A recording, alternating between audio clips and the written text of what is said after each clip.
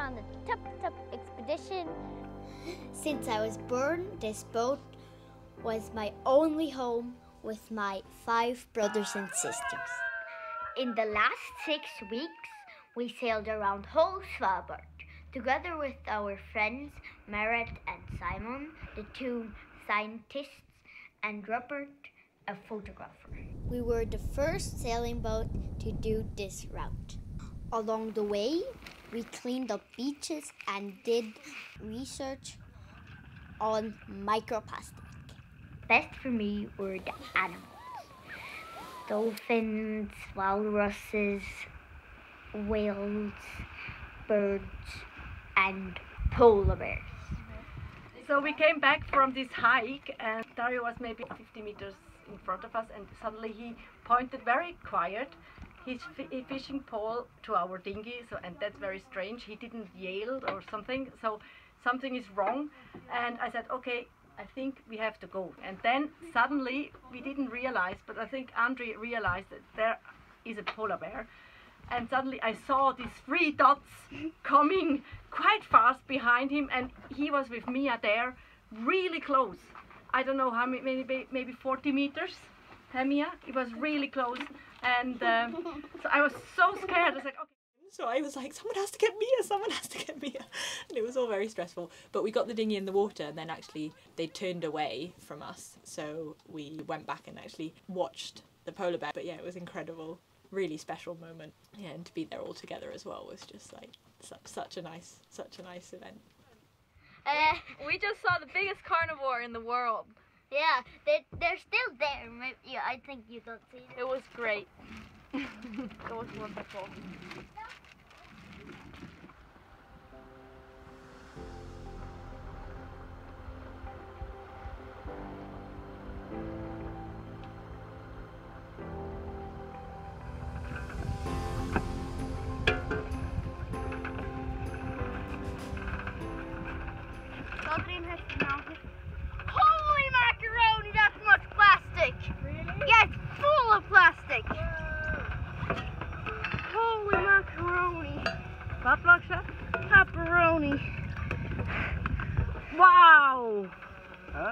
Crazy. Wow, ja toch. Hello, so we have then our 19th microplastic test uh, sample. Um, so we have never had this much plastic in a test before, or floating stuff. So it's pretty shocking because we have the pack ice right behind us. And yeah, we even saw bits of plastic like like this one and then like a few of plate like things. So very much plastic. And how much north are you? Are we here? Um, about like 81, 83 or so. Okay, so I'm Merritt.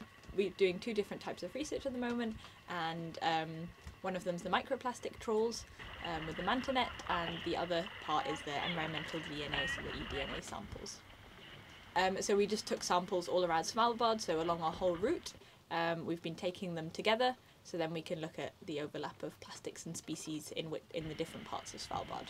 And we went quite far north, so it'll be interesting to see what we see in the samples really close to the pack ice. Vad ska jag se? Elo? Ja. Microplastic? Ja. Oh. Ett vilka?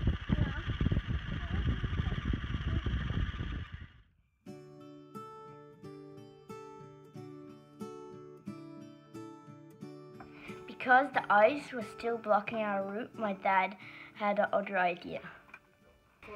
Um, so we go to the top of Svalbard, like always, from sea to top.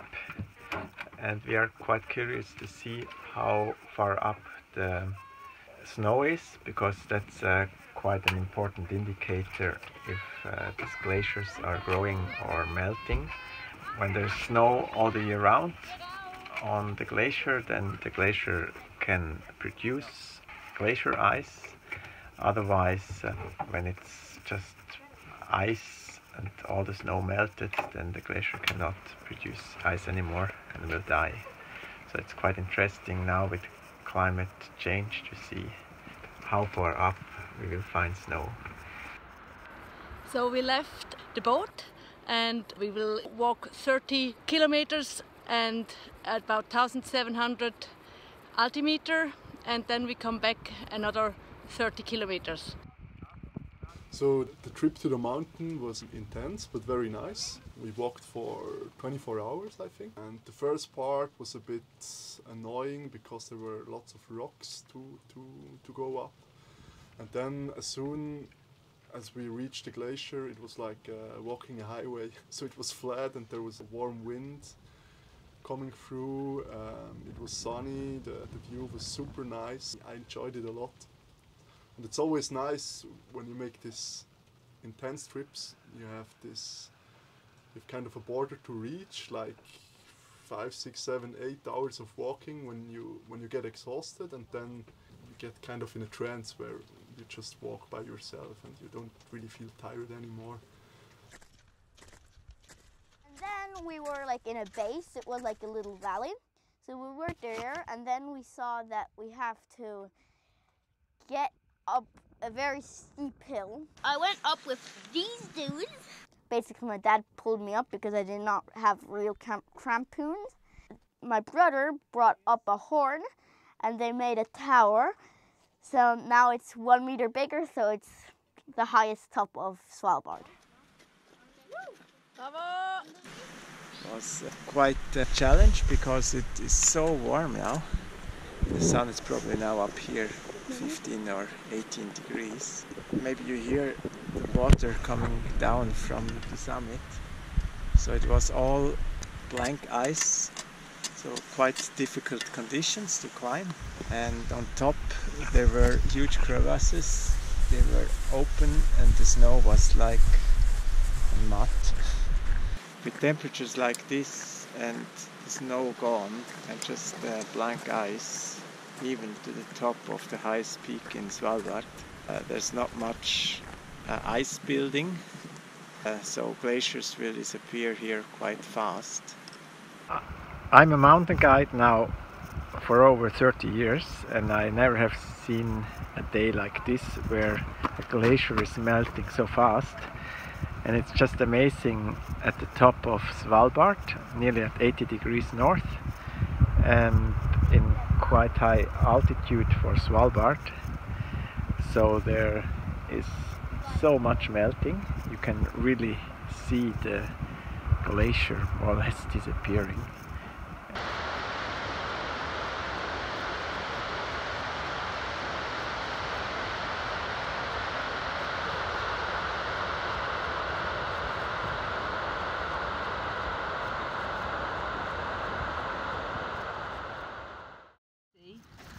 uh, 24 hours and my feet have blisters Ooh. here.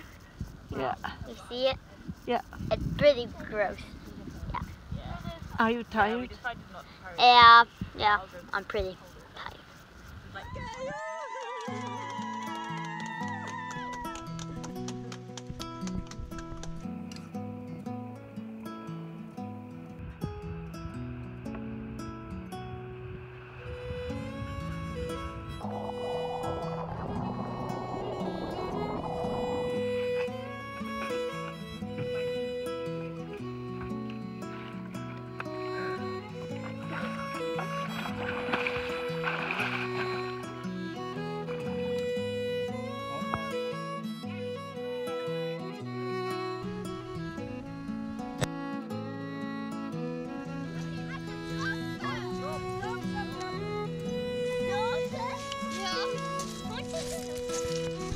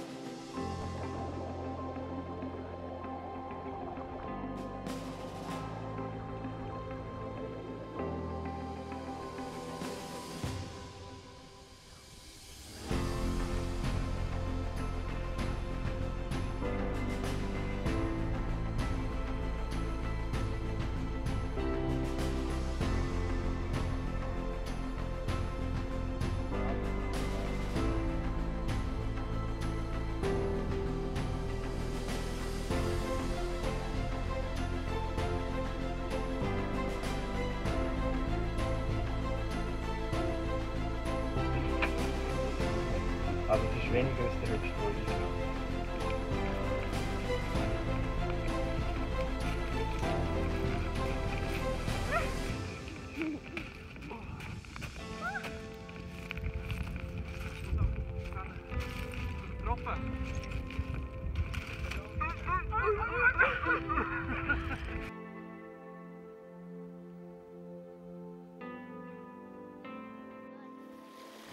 Есть коты.